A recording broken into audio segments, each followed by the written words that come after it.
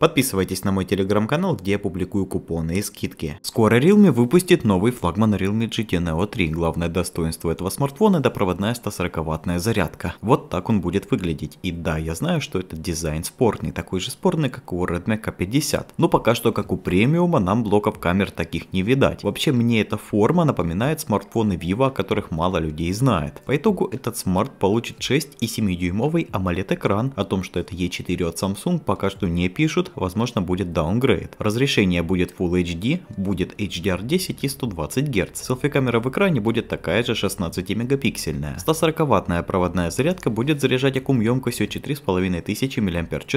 Ходят слухи, что выйдет еще одна модель с такими же характеристиками, но там будет 80 Вт по проводу и аккум 5000. База в Китае будет стартовать от 315 долларов. Вот сколько не следи новинками, а на данный момент все сводится к тому, что нужно брать прошлогодние модели и не париться. Realme стали как Xiaomi в плане конвейера одинаковых моделей, да еще и с даунгрейдом. Привожу пример. Экраны в прошлом году были Samsung E4 AMOLED. В этом году, вероятно, как у xiaomi Redmi K50 Gaming будет экран BOE, который еще до выхода начали пиарить, а это всегда не к добру.